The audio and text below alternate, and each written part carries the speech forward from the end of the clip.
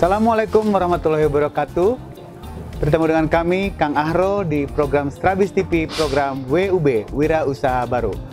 Pemirsa Strabis, kali ini saya kedatangan tamu yang istimewa, yaitu salah satu uh, Wira Usaha Baru atau WUB Jawa Barat bersama Kang Sugianto atau Kang Ugi ya.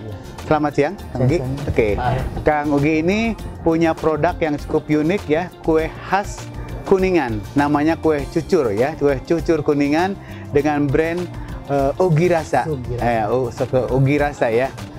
Kue uh, Kang Yugi, kue cucur ini apa kelebihannya yang kira-kiranya bisa bisa diangkat atau membedakan dari produk yang lainnya?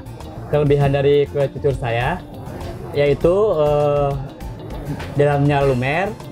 Beda dengan yang lain, kalau yang lain eh, masih garing gitu. Masih Sedang- kering, ya? Masih kering sedangkan eh, kue cucur saya eh, khasnya itu keistimewaannya itu dalamnya lumer, eh, pinggir Luarnya pinggir kering? Luarnya kering, crispy Oke. atau crispy. Oh, itu crispy. Jadi di, eh, sangat disukai sama ya semua kalangan Pak. Semua Jadi, kalangan, semua ya. kalangan, ya. Ya, kenapa Anda terinspirasi untuk mengangkat produk cucur ini? Kan produk cucur ini produk lama ya, Iya, gitu. iya. Eh, untuk bagaimana untuk mengangkat eh, brand cucur ini sehingga menjadi sesuatu yang baru nih di buat, buat masyarakat?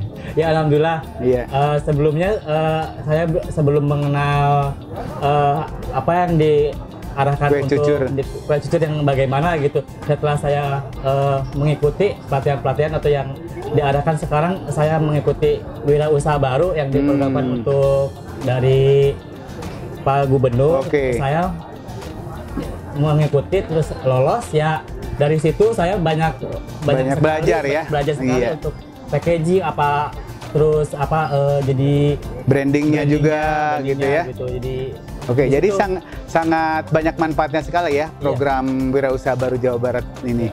Dan eh, menurut Anda, program ini eh, kira-kiranya harapan ke depannya bagaimana? Dan selama ini apa sih manfaat yang banyak diperoleh dari program Wirausaha Baru ini?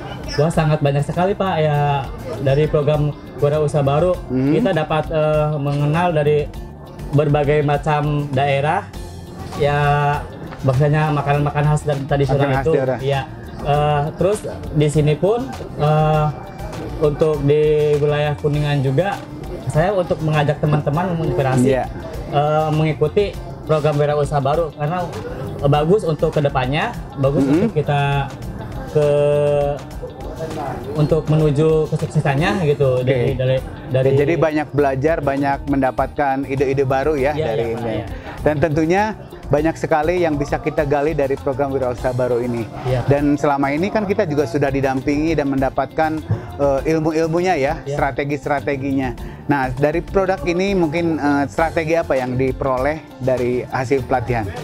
dari hasil pelatihan saya banyak sekali untuk dari packaging Oh, dari yang packaging. Yang plastik mika biasa Hmm. saya mendapatkan Sekarang, lebih iya. bagus lagi dari packaging untuk apa namanya Untuk memberi nilai tambah. tambah terus Nilai tambah dari produk Bapak Ibu. dari stikernya juga terus dari promosi promosinya juga pak ya alhamdulillah Dan selama ini eh, saya eh, selalu me- me- mengembangkan semua itu meskipun sebagai kue tradisional Kue tradisional, tapi diangkat menjadi diangkat lebih trendy ya. trendy gitu Oke, jadi dengan ciri khas anak muda, dengan kreativitas mungkin kita bisa banyak membuat sesuatu itu menjadi lebih lebih lebih keren ya. Iya, Pak. Produk produknya siapa sih ini? Memang, memang sebuah cucur gitu ya, Iya. makanan jadul atau makanan tradisional. Tapi bagi kita bagaimana mengangkat brand cucur ini menjadi sesuatu yang favorit ya. Iya, Pak.